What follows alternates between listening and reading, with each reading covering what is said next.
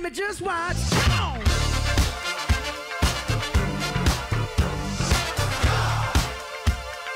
Don't believe me, just watch.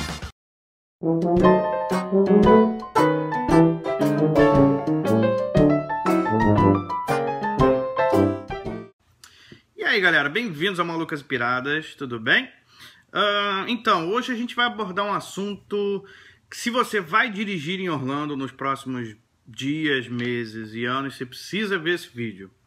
Nas nossas andanças por aí para fazer conteúdo para vocês, a gente vê muita coisa acontecendo aqui em Orlando e geralmente envolvendo brasileiro. Acidente, multa de trânsito, policial dando esporro porque tá fazendo coisa errada. Então, eu selecionei 10 assuntos que a gente vai comentar sobre como dirigir em Orlando. Dica número 1. Um. Se você for parado pelo policial, fez lá a barbeiragem, avançou um sinal, fez alguma coisa, o policial te parou. Então o policial vai acender a sirene atrás do seu carro, vai, uh! e vai estar a sirenezinha piscando lá.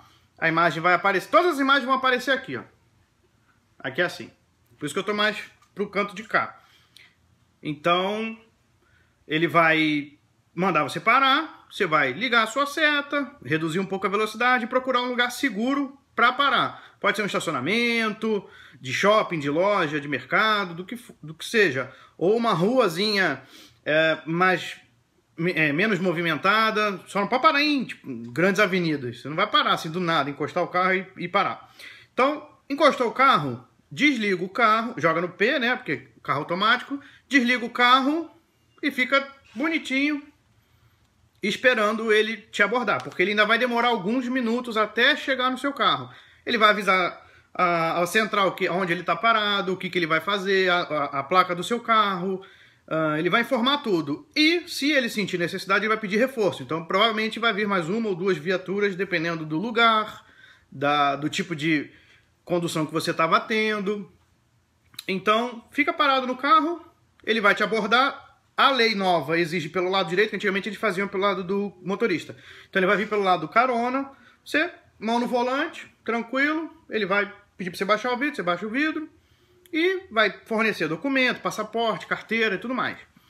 Então, não se assuste se for parado, aqui é muito comum, às vezes por um pouco de excesso de velocidade, às vezes passou um, uma placa de stop, então assim, e eles param mesmo.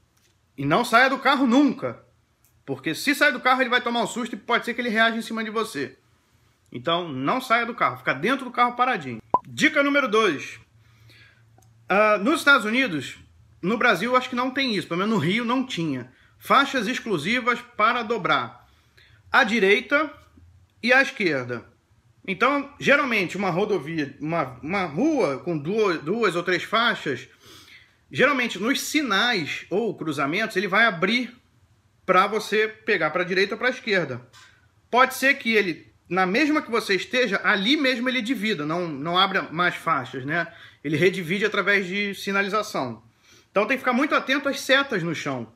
É, somente à direita, você só pode estar naquela pista se você for virar à direita.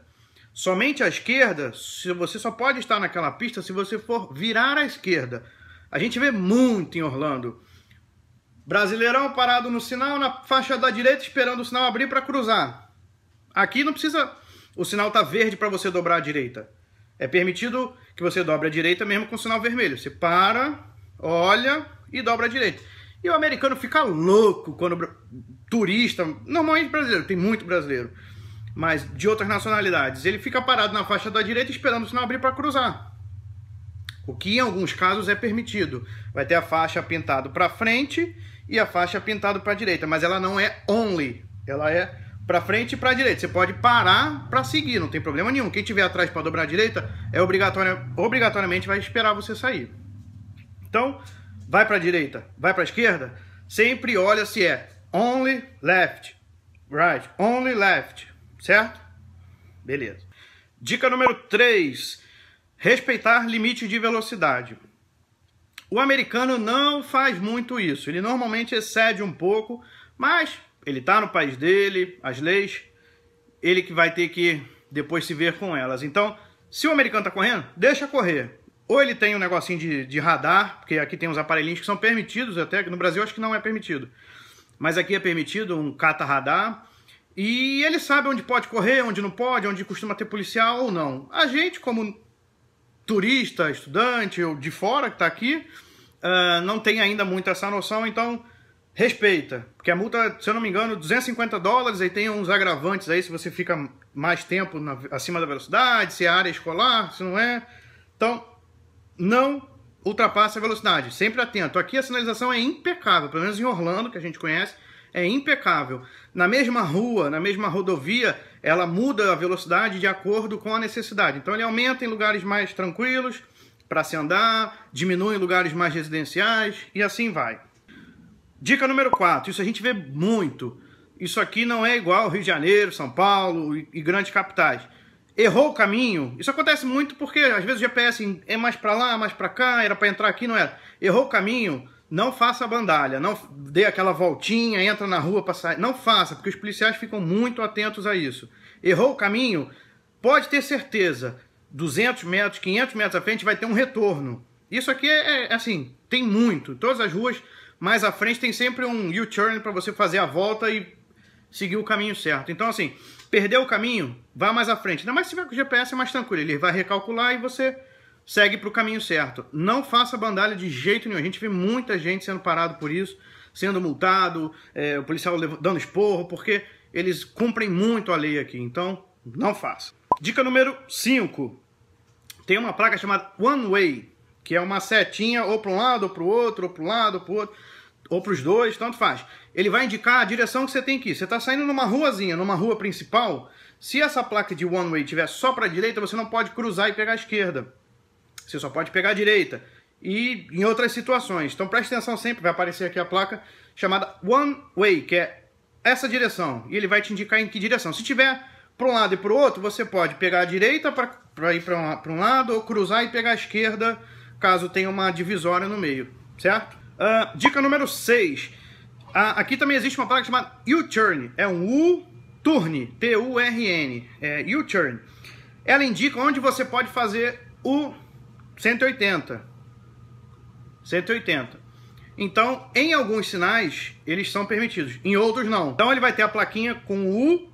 Se for permitido, ele vai estar tá pintadinho U com a setinha. E se for proibido, ele vai estar tá com o símbolo cruzado, não permitindo. Então, você não pode fazer uh, o retorno. Ou você pode só cruzar para a esquerda, né, ou para a direita, mas você não pode fazer o 180 para voltar. Essa é uma placa muito importante. Geralmente nos sinais ela fica pendurada no alto junto com o semáforo ou sinal, se for São Paulo ou Rio. Então ela fica no alto pendurada, se, ou às vezes uh, no poste no, no, na, na, próxima ilha, né, na, na continuação depois do cruzamento. Então muita atenção nessa placa também. Dica número 7. Esse também é muito importante. Aqui, por lei, por regra, à direita você pode dobrar, mesmo com o sinal vermelho fechado.